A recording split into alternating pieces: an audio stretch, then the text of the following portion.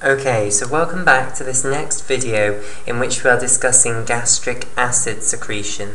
Okay, so we've just discussed the anatomy of the stomach as well as the histology of the stomach wall.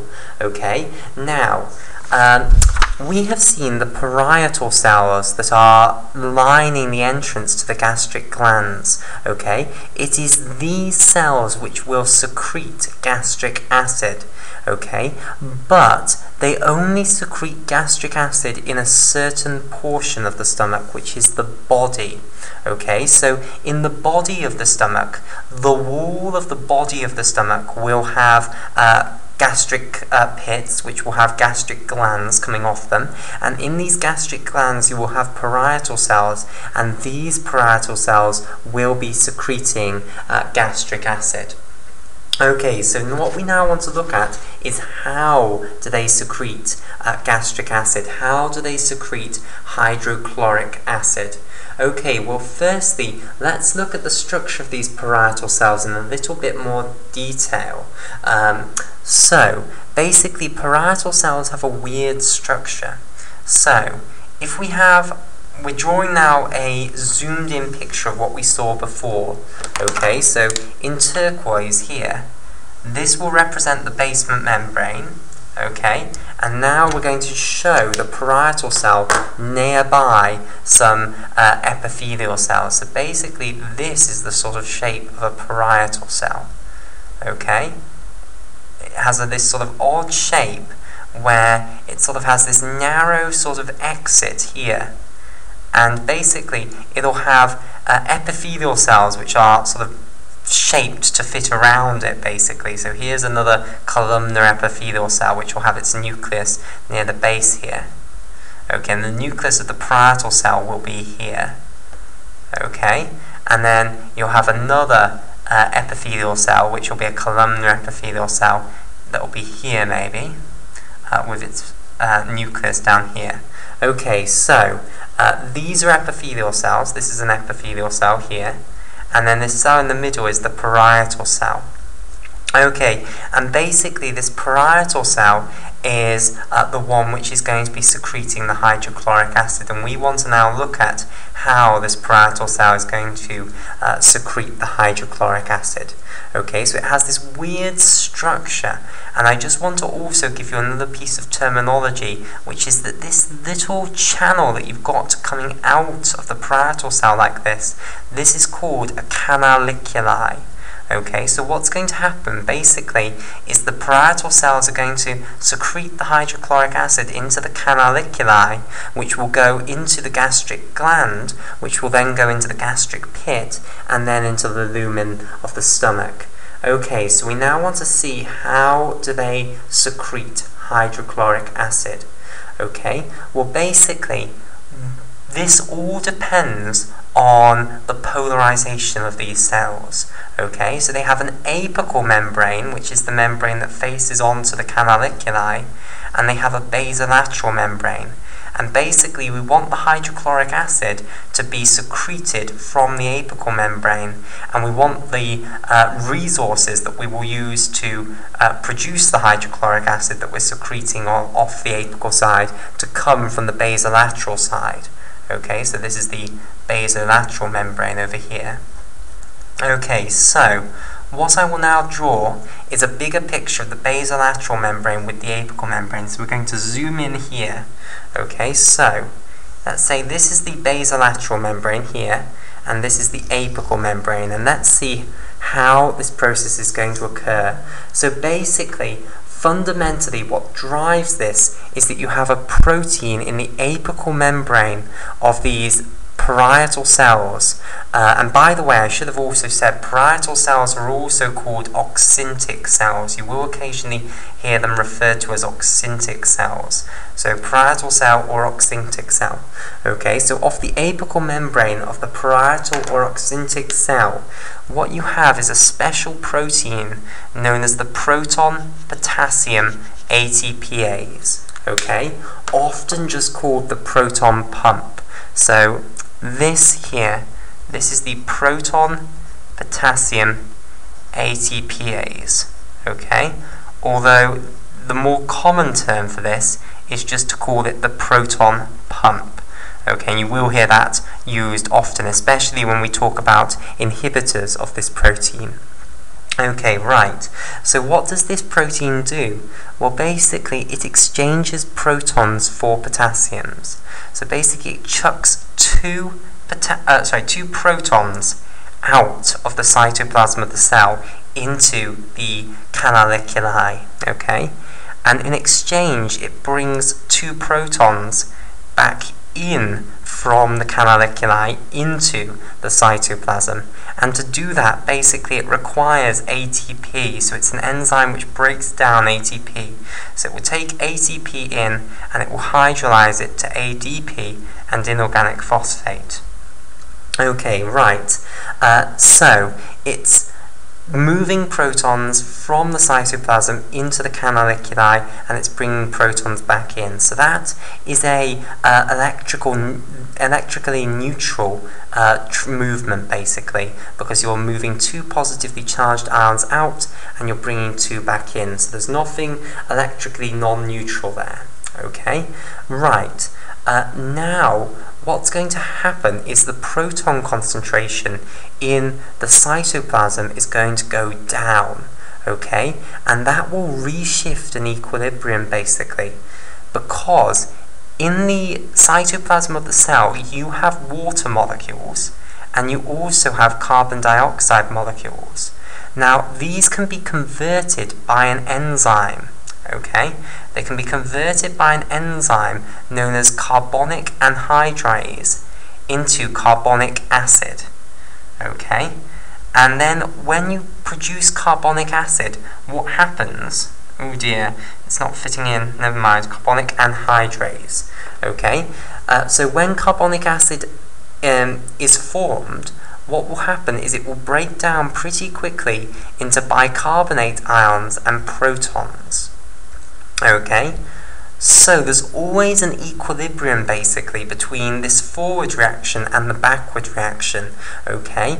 Now if you suddenly reduce the number of protons in the cytoplasm, then the rate of the backward reaction will go down. So the equilibrium will start being shifted basically. Uh, the equilibrium will be distorted as soon as you reduce the rate of the backward reaction. Okay, so the equilibrium will be distorted and uh, the forward reaction will be occurring at a greater rate temporarily. So you'll get more uh, protons and bicarbonate ions being formed. Now let me just talk about this reaction a little bit more. So, remember we saw the structure of carbonic acid. Carbonic acid basically has this structure here. Okay, it's a carbon atom with uh, a double bond to an oxygen and then these two alcohol groups coming off it. Okay, so what we are doing is we're going to take carbon dioxide and we're going to take water and we're going to combine the two of them together to produce carbonic acid. Okay, and you can imagine how this reaction makes sense because what you can imagine doing is breaking the second of those two bonds between the oxygen and the carbon atom in, for one of the bonds in carbon dioxide. Okay, and you can imagine giving one electron back to the oxygen and one back to the carbon. Okay, then you can imagine breaking one of the bonds between the oxygen and the hydrogen in water. Okay, and you can again imagine giving one electron back to the oxygen and one back to the hydrogen. Then you can imagine binding this oxygen here to this carbon here, because both now have a free electron. This oxygen has a free electron from the breaking of this bond. This carbon has a free electron from the breaking of one of these uh, bonds in this double bond. Okay, so those two combine together, that will produce one alcohol group off this carbon. And then you can imagine binding this hydrogen to this oxygen, which has a free electron because of the breaking of this bond. And the hydrogen also has a free electron because of the breaking this bond. Okay, and that will produce us this structure here. Now, carbonic acid isn't very stable, so what it will do is it will very quickly dissociate into bicarbonate anions, okay, and free protons. Okay, so the proton leaves one of the oxygens and then it leaves it with both electrons, so the oxygen gains a negative charge and that produces bicarbonate. So really the equilibrium in the cytoplasm is between uh, water and carbon dioxide on one side and then bicarbonate anions and protons on the other. So basically, if you're now reducing the proton concentration in the cytoplasm by pumping them into the canaliculi, okay, what's going to happen is this equilibrium will be distorted to produce you more protons, basically, to try and produce more protons to raise the concentration of protons back up. Now, what does that result in? What results in, more than anything else, bicarbonate concentration going up. Because remember, what initially did we do? We reduced the proton concentration. That drove the reaction in the forward direction, okay, to produce more products. But the bicarbonate wasn't reduced in the first place, so we've produced more bicarbonate basically because even though the proton concentration in the cytoplasm hasn't gone up, because of course it was originally downwards, so even when you up this reaction, it doesn't go back to what it was before you ever put this protein in. But because the bicarbonate concentration wasn't taken down by this protein, it's going to go up basically in the cytoplasm.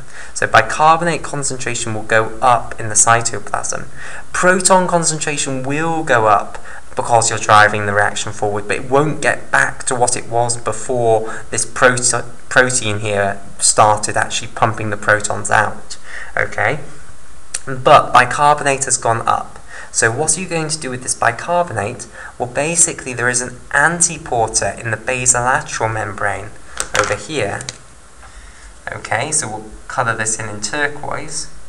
And this basically exchanges bicarbonate ions uh, for chloride anions. Okay, so bicarbonate anions will be moved out of the cell in exchange for chloride anions, and that's an electrically neutral switch basically, uh, because they both have a single negative charge. Okay, so you've now got chloride anions going up within the cytoplasm. Okay, so let's think through now what needs to happen. So the protons are being produced, they will be continuously pumped out. So we're producing more and more higher and higher proton concentration here.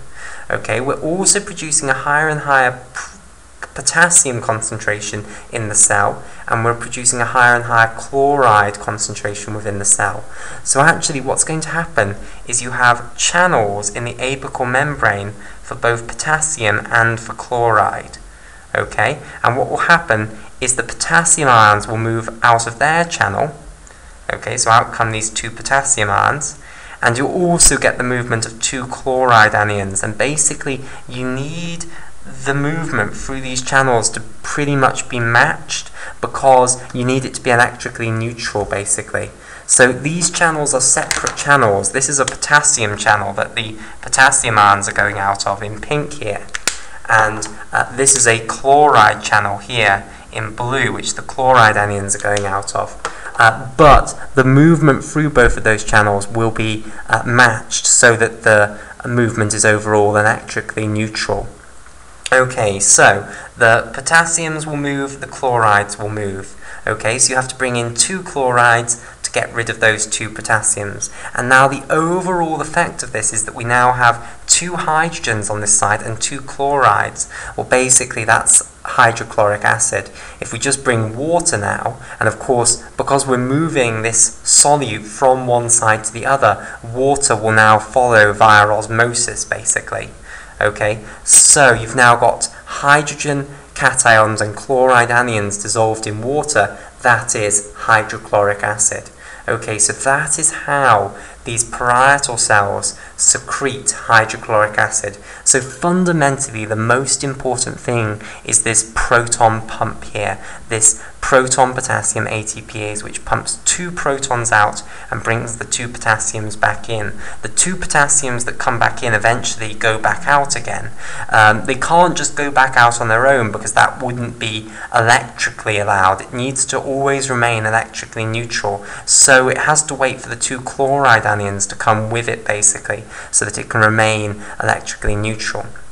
Okay, now where does the continuous source of protons come from? Well, it comes from water combining with carbon dioxide to become carbonic acid, uh, which will break down into a proton and bicarbonate. So the protons can then be pumped out. The bicarbonate will then be exchanged for chloride anions. Again, another electrically neutral switch. This provides the chlorides which will go out with the potassium ions. Okay, and what are we continuously using up here? Well, fundamentally, the things we're using up are the water and the carbon dioxide okay? But of course, we produce water and carbon dioxide all the time by respiration, so that's not too much of a problem, okay? We're also dumping bicarbonate out, uh, the basolateral side of the parietal cell. That will just go into the blood, basically, and we don't need to worry about that either, uh, because the blood is a huge, great volume, so our contribution isn't going to be that dangerous. And bicarbonate's a useful buffer to have in the blood anyway. Okay, and then finally, water just moves via osmosis across uh, the parietal cell into the canaliculi. Okay, so this is how these parietal cells produce uh, hydrochloric acid then. Okay, right. One thing that I want to now talk about is that there are certain drugs which are called uh, proton pump inhibitors which are basically drugs which will bind to the proton potassium ATPase here and stop it from functioning.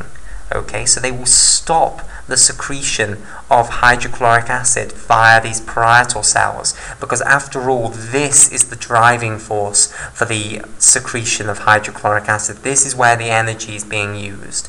Okay, so drugs which do this, which bind to uh, the proton potassium ATPase and block it from transporting protons into the canaliculi, uh, include omeprazole. Omeprazole was the first proton pump inhibitor to be introduced, and also uh. Okay, there are other ones as well, uh, but these are the two most famous ones: omeprazole and lansoprazole. Okay, so all of the proton pump inhibitors uh, have their names ending with this suffix prazole. Okay, right. Uh, so, uh, we will continue this discussion in the next video where we'll talk about uh, the factors uh, influencing the rate of activity of these parietal cells.